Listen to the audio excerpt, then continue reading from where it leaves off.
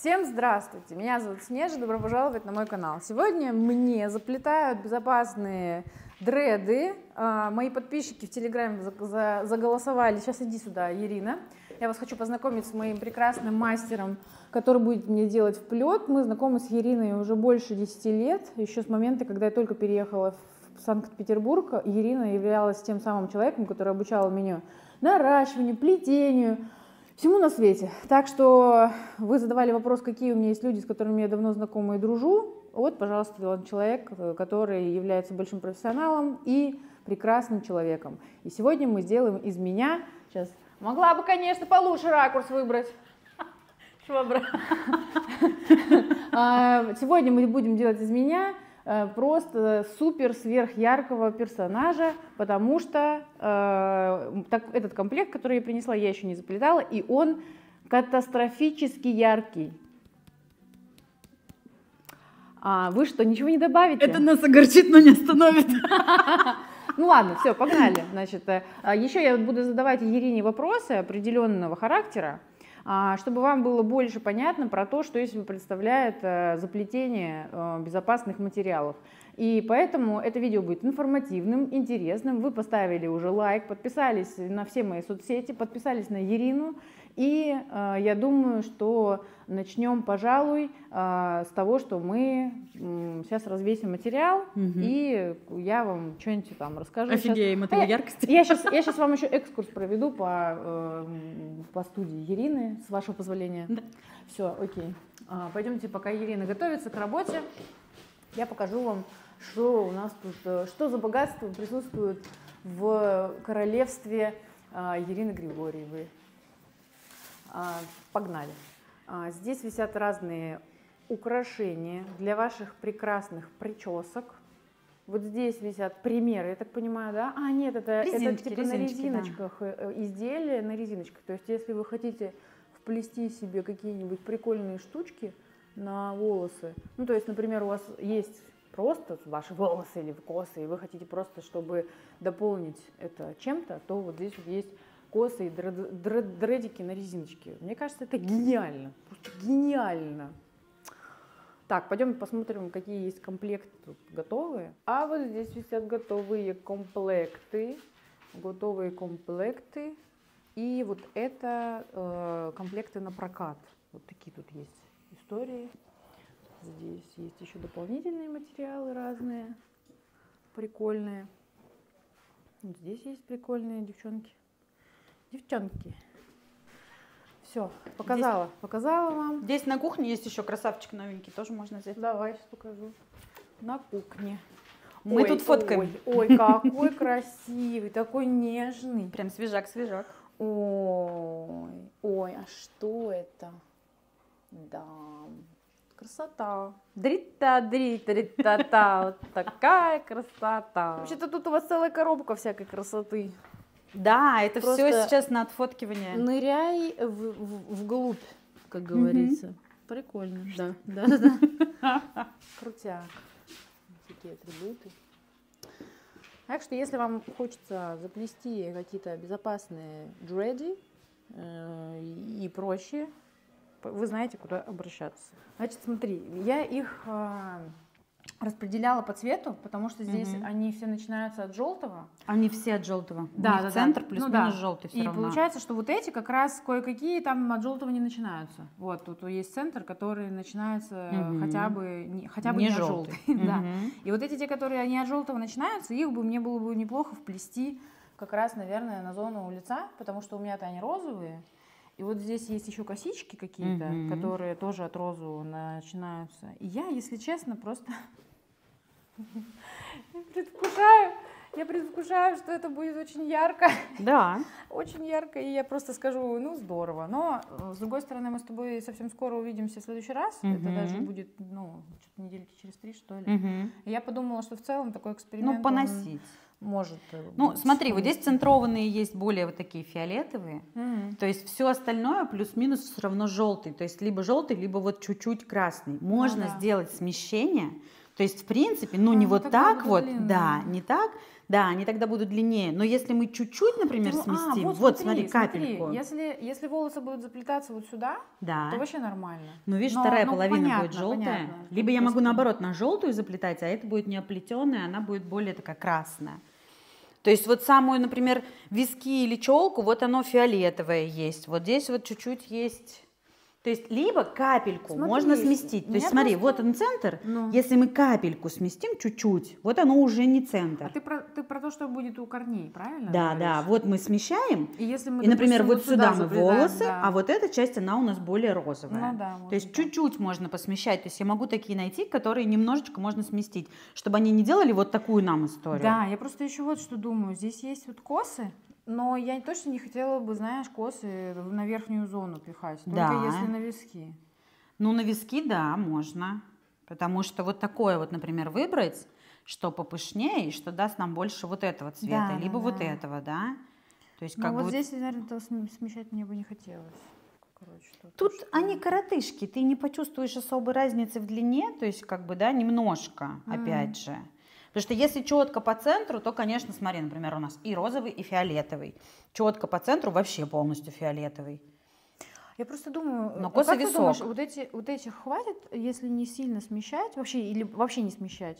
чтобы у лица, мне кажется, что должно хватить. Ну, на край-то точно вот этого хватит. Да. У нас здесь раз, два, три, дальше по одной вот так внутри и по две на висках. Вот здесь получается в принципе, вот, это, вот этот да. оплести розовым, и да. как будто бы розовый. И второй кусочек розовый. Ну да. То есть вот эти все на центр, около лица, ты все равно всегда убираешь. Да, да. Вот это вся центральная часть. Вот здесь у нас есть парочка, которые, ну, плюс-минус рядом. И вот с этими косами это уже к вискам. Угу. То есть, да, и, соответственно, сейчас еще парочку найду, которые, если не сильно сместить, чтобы они тоже давали не желтый. Короче, этого хватит на переднюю линию точно передняя линия точно будет такая, как... Ну, короче, вы поняли. Как привыкла. Фу, я даже немножко нервничаю, если честно. Мне кажется, что у меня таких ярких еще вообще не было. Я просто, они когда мне пришли, я их увидела и такая... Ой-ой. Я думала, что для меня нет ничего очень яркого, а оказывается, есть. Мое второе имя – Суета. Мне кажется, фамилию можно поменять. Снежана будет. Винниченко Суета. Можно двойную сделать. Ой, ой. Ой. А что мы мотаемся вот этим? У меня есть нитки. Смотри, ну один в один же, нет? Ну ладно, пусть будет. Вот, видишь? Да, видишь? Но у меня тоже свой есть. Ну, короче, Я мне за... кажется, этот моток купленный под тебя. Ладно, как скажете. Могу экономить ваши расходы. А там в пакете, кстати, был, нет? Да? А я из пакета достала, достала только дредосы. Да, вижу. Ну, Расход, расходуйте. Ну, ну, ну, чуть-чуть он поспокойнее. Хочешь, будем этим. Давай твои.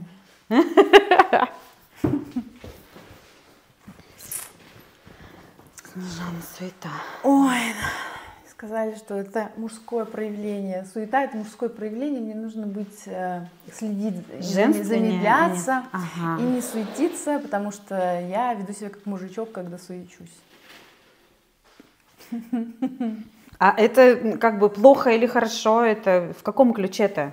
Просто это... Просто? Это факт. Угу. Ну, так это просто ж факт, он не может никак влиять. В каждом человеке есть и мужское, и женское. Да, но вот у меня мужского больше, и вот поэтому мне надо за собой следить. Так что я сейчас замедленно проверю, как кадр выглядит. Начинай дышать маточкой. Ой, ой, сейчас. Сейчас как задышу. Сейчас как задышу. И воздуха не останется. Мы откроем окно. И чем мы все будем здесь дышать? Все маточкой начнут дышать. Хорошо. Я слышу, слышу, как кто-то дышит маткой на кухне. Да-да-да. Настя чихнула, у нее матка простуженная, видимо. Вспомнили. Значит так, пока, э, пока Ирина делает ниточные заготовки, я немножко э, расскажусь, э, расскажусь. Самые частые вопросы, которые задают люди. Первый вопрос заключается в том, а, сколько носится вообще прическа. Наверное, надо начать вообще издалека что бывают разные виды заплетения, угу. разные всякие штучки. Бывают косы, безопасные дреды, всякое такое. Так, Но это по структурам больше. Ну да, ну суть в том, что есть, есть виды безопасных в плетении синтетических материалов, причем... Ну вот я бы начала, наверное, даже с того, что есть синтетические материалы и не синтетические, потому что сегодня по факту у нас как раз история про органический материал. Это не синтетика. И если мы начнем вообще от Рождества Христова, то по Ой, факту... Это видео будет длиться 6 часов. Готовьтесь. Мы очень быстро будем, будем разговаривать вот так вот, чтобы, короче, сделать, чтобы нормально Они и, так, они и так постоянно слушают на 2 На 2х, да. Так На что- Ютубе есть такая, э, такая версия? Конечно. О, я не знала. Вот Я так. всегда. Понятно. Начинаем, значит, говорить а, а, вот так, мне кажется.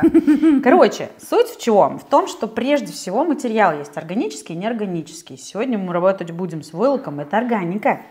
А если мы говорим про синтетику, то это, естественно, речь идет о каниколоне и о и же с ним вообще. Вот все вот это вот то, что синтетические вовосоньки.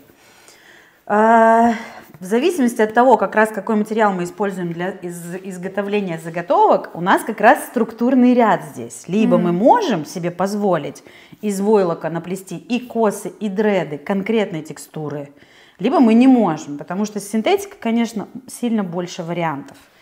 Из-за того, что каниколон очень пластичен, он принимает свою форму, сохраняет ее после остывания, после термообработки, то ты его можешь по факту запихнуть в любую вообще форму практически. Отгофрировать или выпрямить, потом конкретным образом собрать крючочками, не крючочками. Какие красивые Сейчас будут розовые, да?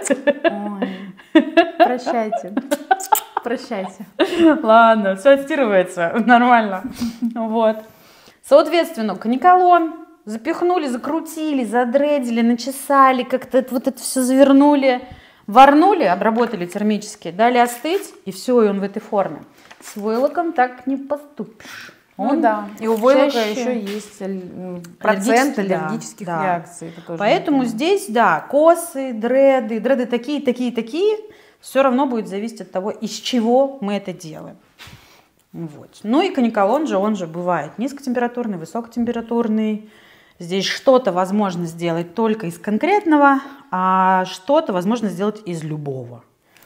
Ну, короче говоря, на самом деле суть в том, что одно за другое цепляется, информации очень много, потому что синтетических материалов много, а, из э, органических материалов это войлок либо натуральные волосы. В целом а, это история про то, что вам нравится больше и какой у вас бюджет, потому что, естественно, синтетика, она стоит дешевле. А, И вариант э, с синтетическими э, заготовками, он, естественно, более востребован по цене и по вариативности. Да. Из э, важного основного, наверное, что, э, что для людей, которые совсем неопытные, потому что тут сейчас, мне кажется, многие такие, «Бо- боже, как много незнакомых слов, Страшно. да, да, да. Хочется сказать следующее. Если вы хотите заплестись, сделать какую-то прическу с применением дополнительных материалов, а, не нужно бояться э, этого. А, Срок носки обычно месяц-полтора, в зависимости от того, как вам заплетают. Иногда можно наносить меньше, иногда можно наносить больше, но все-таки, если говорить про стандартные сроки, Ну, то это- рекомендованные. ну, да, это Да, месяц, да. максимум полтора. Ну, 5-6 наверное, недель. 5-6 недель. Да, да. 5-6 недель. И получается, что вот здесь, на этом этапе, у многих есть вопрос по поводу того, насколько это вредно. И я тоже тут ставлю свои 5 копеек, скажу, что все зависит от того, как вам это все дело вплетут. Потому что можно заплести так, что неделя носки перегруженных э, волос ваших может привести к выпадению и Мгм. повреждению волосяных луковиц и что может вообще очень негативно сказаться. И самыми первыми звоночками к такому такой, такой истории будут являться, во-первых, очень сильные покраснения кожи, э, плюс маленькие такие прыщички, когда вылезают от перетянутых волос. И в целом э, ощущение того, что вам волосы очень сильно тянет. И если это ощущение длится больше, чем два дня, потому что Это важно, да. первые, первые дни могут быть непривычными, неприятными, это нормально. Но если это длится больше 4-5 дней, вы носите неделю, у вас все болит, а как бы перетянутые волосы, они приводят еще и к дополнительной голов- ну, головной боли и в целом такому общему недомоганию, потому что область э, головы, она достаточно большая, и организм, естественно, на это реагирует. Поэтому, а, если все заплетено корректно, то первые два дня, может быть, непривычно тянет. Да, это нормально. Особенно, если у вас очень короткие волосы. И, конечно же, это может быть дискомфортно. Но, а так, в целом, а, как бы все, на третий день уже все в порядке. Но здесь еще нужно понимать, что адаптационный период, вот это вот время привыкания, даже если мы говорим про правильное заплетение, mm-hmm. то есть факторов их много, не то что типа как вам заплели, бывает э, хороший мастер, хороший, э, хороший метод вплета, все учтено, ну, например, комплект клиентка принесла свой, обожаемый, любимый, а весит он килограмм. Mm. То есть если мастер э, такой как бы молодец, умничка, все грамотно распределяет, все хорошо вплетает, без перетяжек, но при этом при всем все наши 50 заготовок весят кило, то тут какой бы мастер не был хороший, и она, например, не смогла уговорить, что это не очень будет для волос. Mm. То есть бывает же такой аспект. Я люблю, я хочу, я привыкла, мне надо это. И ты как бы как не сражайся там. То есть я, например, да, мастер с авторитетом, с огромным стажем просто скажу, нет. Mm. То есть либо мы делаем повтор да, этого комплекта, но в допустимых весовых рамках, либо не ко мне. Ну, либо срок носки маленький. Да, да. Но либо надо просто... Но я уезжаю в Таиланд на, на месяц, мне надо, вот я вернусь, и мне надо будет приехать красивой. Нет. Понятно. То есть здесь еще есть вот эти моменты, что как бы нужно весовую историю учесть, нужно учесть длину собственных волос, нужно учесть предполагаемый или желаемый срок носки. Можно вплести килограммовые дредосы на неделю. Вообще mm-hmm. легко. Под мероприятие, для какого-то ивента. Вообще, вот прям да, окей. У меня есть таких парочку комплектов, которые я заплетаю. Там хвост mm-hmm. невозможно собрать, потому что mm-hmm. у тебя просто шея переламывается. Но если я понимаю, что мне надо дорого, богато, да, да, колен, вот такие вот жирные червяки, я понимаю, что это будет 5 дней, и все, и ну, снимать. То есть адаптационный период это уже следующий момент, вот эти все покраснения, стянутость. Это как раз история от трех, ну типа даже от двух до семи дней, да. То есть если спустя неделю еще у нас на голове ахтунг, то что-то не так. Это действительно так.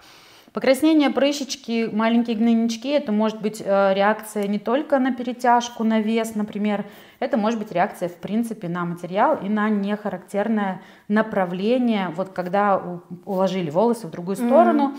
И еще это может быть реакция на то, что мы грязными лапками полезли чесать свежезаплетенную голову. Mm. Так как фолликул имеет определенное направление в коже ну, волосок, он же не просто торчит вот так ровно, он под каким-то направлением. Бывает такое, что при заплетении волосок мы разворачиваем в другую сторону. Образовывается небольшой зазор в фолликуле. И если едешь ты в метро с заплетением, а, блин, чешется, чешется, почесала лапками не очень чистенькими. Все, в этот зазор заносится пыль, грязь, себум с э, поверхности рук, с кожи, с кожи лица, например, с косметики, которую очень часто замазывают туда. И там сразу же начинается микровоспалительный процесс. То есть здесь тоже история по рекомендациям какая? Мы грязными лапками в кожу головы свежезаплетенную не лезем. То есть антисептик и то не чесаться, а именно вот так, потрогать легонько. Но нужно за этим следить. Да.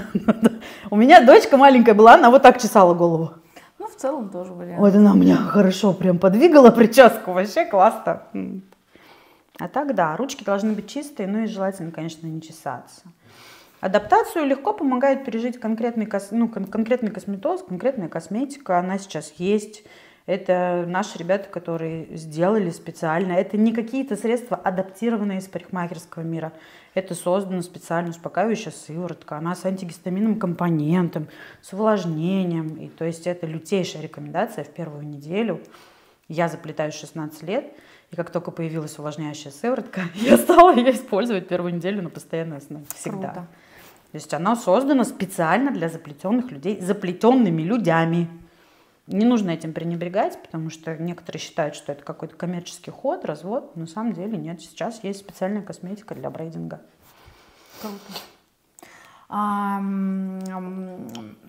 многие э, задают вопрос такой – а в чем, типа, основная разница между косичками и дредами?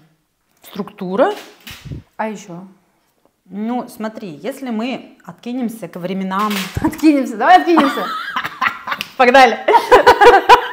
Они Хорошо, если мы да, телепортируемся обратно, например, там в какой год, когда я начала заплетаться, 2008, а, тогда о заготовках, как вот сейчас, сделал мастер что-то вне твоей головы, и потом тебе это примотал. Угу. Тогда вообще толком об этом никто ничего не знал. Делали какие косы? Классические э, точечные косы, взяли каниколон, волосики и с твоими заплели. Угу. И так много часов, миллион часов, каждую косу формируя прямо на тебе. Либо делали как? Натуральные дреды. Взяли твою прядку, начесали, крючком потыкали, сделали дредос. Точка. Все. Ну, еще брейды плели, косы по голове. Соответственно, про заготовки тогда особо речи никакой не шло, в России этого не было. И как бы все такие, ну если косы, то значит вот так вот, много-много часов, квадратная попка, мастер охреневший и как бы миллион денег, да? Э, одноразовая прическа. Соответственно, заготовки существовали из разряда на Ютубе у каких-то американских или там английских мастеров. Mm. Все подсматривали, пытались криво чесать каниколон, пытались из него, из негофрированного плести эти косы и как-то приматывать. Mm-hmm. Так, чтобы можно было, например, снять. Я помню, момент. когда да. у меня были, знаешь что, я, я нашла, значит, э, в интернетах дреды э, безопасные, как прикрепляли. Мне мама моя приматывала. приматывала. И там угу. был видос. Угу. А, значит, вот делается дред, ну, за, за, за господи, за, делается начес, там угу. крючком Залохматили, прорабатывается. Тык, потыкали крючком. И получается, что остается хвостик, и угу. этот хвостик, вот я сейчас тебе расскажу, Э, я прям помню этот вид, я его пересматривала раз 10. Mm-hmm. И потом мы еще с мамой пересматривали, как это делать. Mm-hmm. Ты берешь, выделяешь квадратик, этот, эту заготовку пере, э, э, вот, ты типа переворачиваешь ее, да. заплетаешь вместе с каниколоном в косу, угу. потом ты это дело опускаешь и сшиваешь ниткой. Да. И это было просто, знаешь, э, это было, э, это было в моей это жизни, было. это были мои самые первые безопасные дреды, получается. Угу. И я хочу сказать, что э, это было прикольно, потому да. что я, я, я вообще не понимала, как по-другому, конечно, заплетать. Я помню Этот еще... метод крепления до сих пор существует. Капец. Я еще я потом нашла Лену Грозу, угу. и вот я с ней по скайпу, скайп, созванивалась. Она Ваське списались, Она тогда попросила, что-то, по-моему, то ли 5 тысяч рублей, угу. то ли 10 тысяч рублей за Чтобы научить. обучение, да. И суть в том, что вот я прям помню, мы созвонились с ней, и, вот у меня была манекен голова, угу. заготовка, которую я сделала. И, и, и я просто тогда была так впечатлена. Она этим. показывала, как плетать деешку? Да, да, вот да. Вот именно полувосьмеркой, да, скорее всего. Да, да, да. да. Но по факту тот метод, который ты нашла и который вот ты сейчас описала, этот метод до сих пор существует. Это Жесть. метод крепления дредосов фейковых, то есть это они максимально похожи на натуральные. Один квадрат, одна заготовка, спрятанное основание. Мне но, кажется, Гриш это, Суворов до сих пор это таким образом. Это спрятанные, которые при помощи крючка, а тут... Нет, там а, просто можно вот так, ты заготовку вот так растеребонькала, да. этот хвост заплела, косу свою проложила, потом соединила, вот так да, ее и, обернула, и, и либо нитками, либо ты крючком берешь и каниколоном прошиваешь. Это есть такой метод постановки. Называется классические безопасные дреды. То есть это один Обалдеть. из самых первых методов, ну, да, которым да. можно было синтетику приделать так, чтобы она была похожа на натуральную. Да, да, да. Ну, потому что там верхняя часть, она да. стык в стык э, да. с корнями. И при отрастании, когда удлинялась своя прядка, и эта колобашка дреда отодвигалась, да. вот эту часть очень часто не снимали, перевплетая, а брали каниколон, вот так вот жмонькали, оборачивали основание и снова крючком прорабатывали. То есть коррекция при отрастании могла быть несколько раз, каждый раз наращивая дред около корня. Балдеть. Мы так делали, я такие дредосы тоже носила. Преимущество в том, что это выглядит прям реально. У тебя квадрат, и из него штука торчит. Никаких обмоток, никаких вот этих волосики сверху, волосики снизу. Оно просто все спрятано. Это реально действующий метод, и до сих пор его юзают. Капец. Другой вопрос, что сейчас с помощью, например, да, ДЕ вплета, именно ДЕ заготовок, мы можем сделать двойной объем. Ну да. Не все любят, чтобы один квадрат одна заготовка, кто-то хочет мельче, кто-то хочет прям ворох огромного количества. И при таком методе так не сделаешь. Ну, а да. при постановке поверх мы можем это легко вообще сотворить. Ой, как хорошо, что сейчас есть много разных видов э, вплетения, потому что а, в зависимости от густоты волос. Просто вот как раз у меня-то густые волосы, Да. и одна, одна заготовка на один квадрат выглядит нормально. Мгм. А для тех, у кого Да. волосы тонкие, и у кого там объем волос небольшой, это, конечно, я прям помню. А, эти Особенно какой-нибудь поврежденный висок, поврежденный край, когда пишет там девчонка, которая говорит, я хочу, чтобы около лица прям было густо-густо-густо. Ты просто вот этот височный прядок уберешь, височный квадрат, думаешь, там чихнуть лишний раз нельзя, потому что ты сейчас приделаешь вот эту колобаху, а оно просто оторвется Ну через да, два дня. Жесть. вообще Поэтому, ну, понятно, что все развивается, понятно, что все методы отрабатываются, но я считаю, что с тех времен самый большой плюс, что все-таки мастера начали делиться техниками. Ну да. Потому что раньше, вот я сегодня утром разговаривала с клиенткой, она говорит, «А где ты училась, как ты училась? Я говорю, в 2008-2009 году не было мастер-классов. Все мастера ревностно охраняли свои техники. Я помню ответ одной из мастериц, когда я написала ей ВКонтакте о том, что я хочу пройти у нее индивидуальный мастер-класс, очно или как-нибудь по созвону по скайпу. Она сказала, извини, я мастеров не обучаю, и вообще я типа своими техниками не делюсь. То есть вот это была ревность с точки зрения, я тебя сейчас научу, ты, короче, сделаешь на этом бабки больше, чем я, и вообще это моя секретная секретность, и все. И нет, я так страдала. Я была готова заплатить любые деньги. Да, я понимаю. Чтобы не тратить время на то, чтобы тыкаться-пыкаться с канекалоном, говорю, я заплачу. Ну, come on, нет, я не учу. Сейчас, чтобы зайти в брейдинг, вообще, вот так, на лайте. Рассрочка от Тинькова. Беспроцентная рассрочка. Это не реклама, мне никто не платил. Вот. Я к тому, что как бы мы в Ну, основном мастер-классы есть даже в рассрочку. Ну, и это все доступ информации. Если мы брали раньше доктор Дредс была, доктор или Дредлокс, как-то американка девчонка. Вот у нее как раз первые видосы вот эти на ютубе, где она стоит и смешивает каниколон. Она смешивает там фиолетовый и розовый, и все вообще делали скрины с этого видоса, чтобы понять, что она там делает, как она это соединяет, там, как этот начес. А она такая вся, знаешь, будем модифицированная, такая вся в татух, такая жесткая, у нее такие локи такие из головы торчат. Прямо она стоит такая, сейчас все будет. Никакого перевода, ничего, никаких ти- субтитров тебе. Вообще, ты просто сидишь и ловишь каждую секунду. Чтобы примерно хотя бы понять, что она делает руками. Боже, какое у нас сейчас прекрасное время, что столько информации. С одной стороны, но с другой стороны... Не-не-не, я все-таки считаю, что очень хорошее время. Ну, Это круто, но дру... Потому что аспекты мы- обесценивания это уже другое. Ну да, да, да. Вот. Но по факту то, что сейчас добыть можно всю эту инфу, это очень большой прорыв. И то, что все стали относиться, ну, большинство все-таки мастеров так, типа, я поделюсь, мне не жалко, да, это, это хлеб мой, это мои деньги, поэтому платите, но как бы хотя бы эту инфу можно достать. Раньше и за деньги нельзя было. А теперь за деньги-то, за деньги-то. Из того, что там в голове у меня всплывает, а, есть люди, у которых был негативный опыт носки разного вида вплетения. Мне, конечно, хочется сказать, что уважаемые люди, у которых был негативный опыт, а, э, вспомните, во-первых, где это, этот опыт у вас был, потому что очень многие свои первые э, косы вплетали на каких-нибудь пляжах в Адлере, Мгм. И это было... Или в Турции. Ну, или в Турции. И это была, естественно, история на потоке сделанная. Мгм. И, э, конечно, работа профессионалов, э, брей- брейдеров, Мгм. очень сильно отличается от потоковых мастеров, которые там плетут в 4-5 рук и абсолютно не анализируют, какие волосы, потому что, допустим, есть э, прекрасные наши афроамериканцы, которые могут э, делать э, отличные заготовки, вернее, не заготовки, а вплет, но они тоже не учитывают особенности строения волос европейских, славянских, и делают по, привычных, по привычным схемам своим.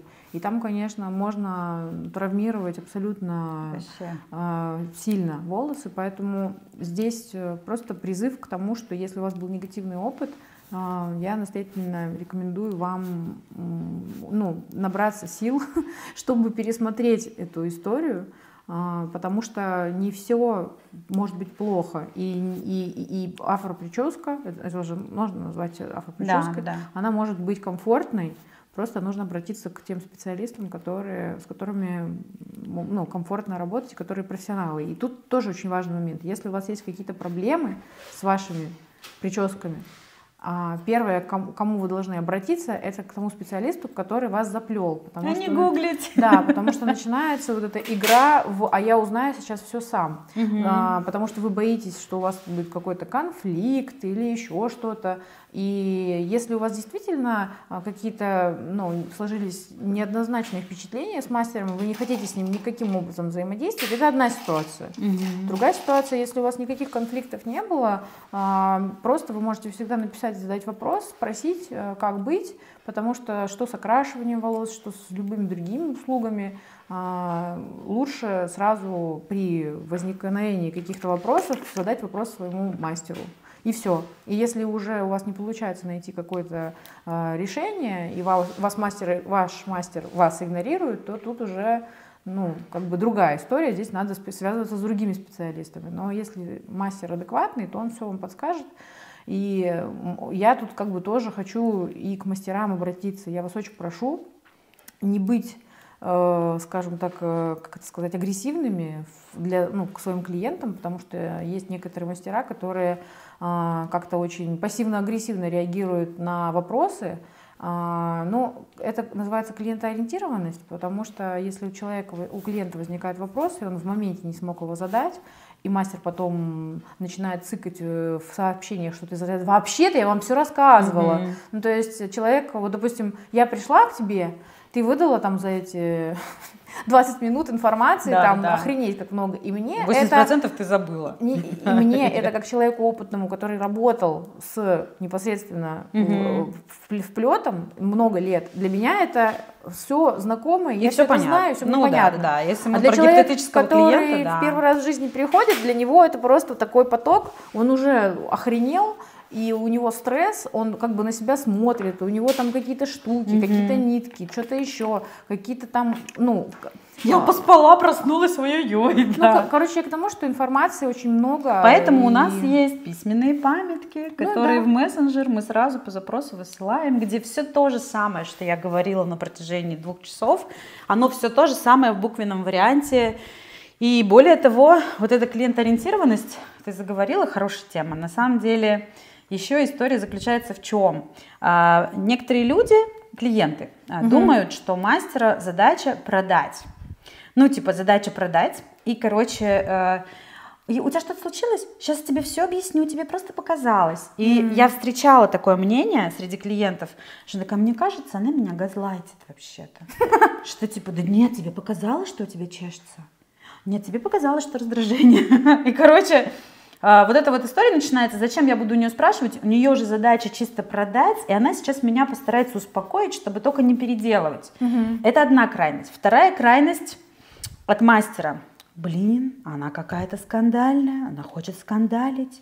Да что у нее там, ничего да. у нее там нету. Есть такое. Блин, да что она, я же ей все рассказала, и буквами, что она буквы не читает? Не читает. А у кого-то, на минуточку, я профессиональный педагог начальной школы. Кто-то воспринимает ухами, кто-то глазками, а кто-то ручками. И это странно, но поток восприятия информации, я тебе говорю, ты запомнила, вышла от меня, все помнишь. Или следующее, я говорю, она вообще...